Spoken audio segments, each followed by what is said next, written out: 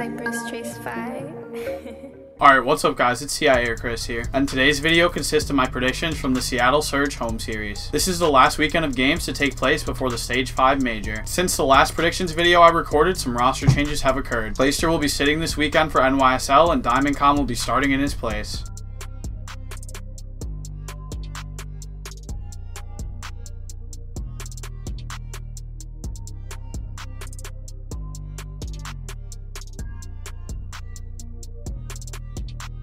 The predictions I give in this video will be based on these most current updates. Alright, but as always, I hope you guys enjoy.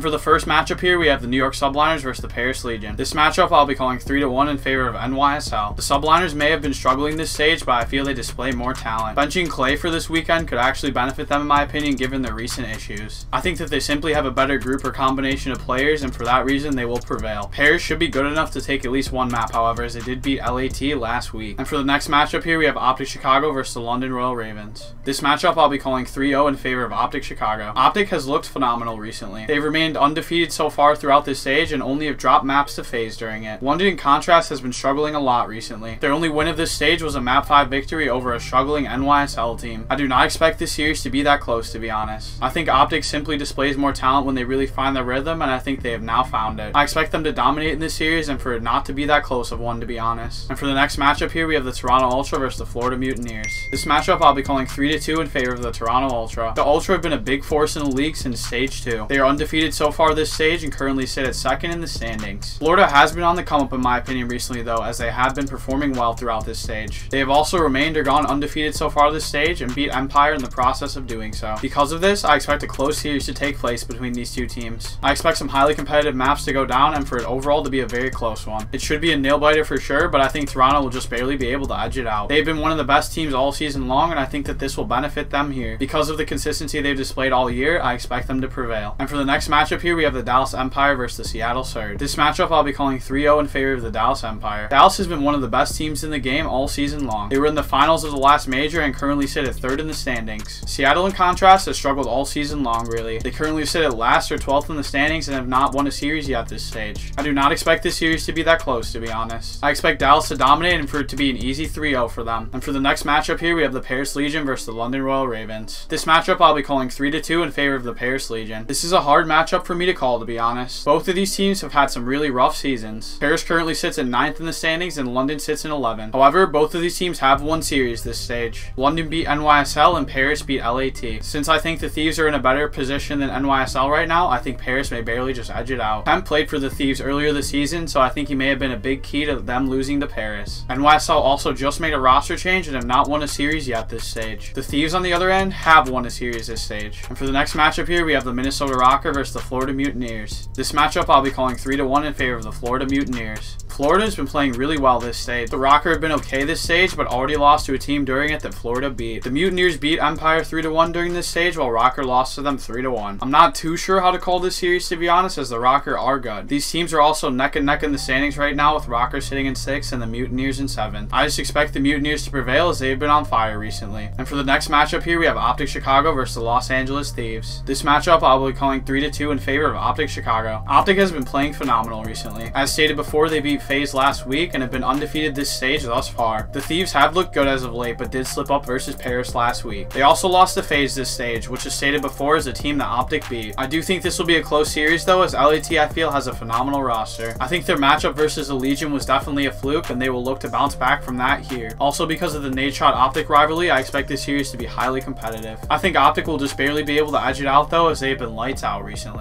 I do think the Thieves will definitely give them a run for their money though. And for the next matchup here, we have the Los Angeles Guerrillas versus Seattle Surge. This matchup I'll be calling 3-2 in favor of the Seattle Surge. I think this is a hard series for me to call to be honest. Both of these teams have struggled massively this season and sit low in the standings. Neither team has won a series yet this stage either. However, because of how well Seattle played during the last major, I think that they should be able to prevail. With it being their home series as well, I think they will come out a bit more motivated. I expect it to be a close series though, as neither of these teams have been too hot this year. And for the next matchup here, we have Atlanta FaZe versus the New York Subliners. This matchup I'll be calling 3-0 in favor of Atlanta FaZe. FaZe is the top team in the game. They have won three majors and are currently first in the standings. NYSL will be coming into this matchup with a relatively new roster still, and I do not expect FaZe to slip up given that. NYSL will also be missing their veteran leadership in Clay, which I think could potentially cause them some issues. The maps may be close, but I expect FaZe to have no problem securing the W here. And for the last matchup of the weekend here, we have the Dallas Empire versus the Toronto Ultra. This matchup I'll be calling 3 to 1 in favor of the Toronto Ultra. Both of these teams have had very good seasons and performed well. They also both sit very high up in the standings, with Dallas in third and the Ultra in second. Because of recent trends, however, I expect the Ultra to be able to prevail. The Ultra have gone undefeated this stage, but Empire lost during it to Florida 3 to 1. I do think they will definitely be able to secure a map though, as they are still a really good team. When it's all said and done though, I expect the Ultra to come out on top.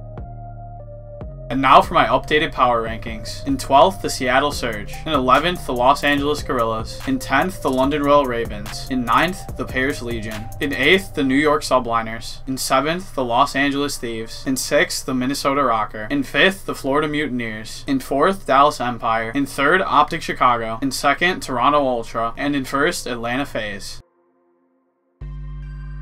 Alright guys, but that's pretty much it for today's video. I'm super excited for this weekend of games and I can't wait to see how they all play out. Alright guys, but as always, let me know what your thoughts are down below and leave a like if you enjoyed. But until next time, it's been CIA or Chris. Hashtag 100TCIA. Peace.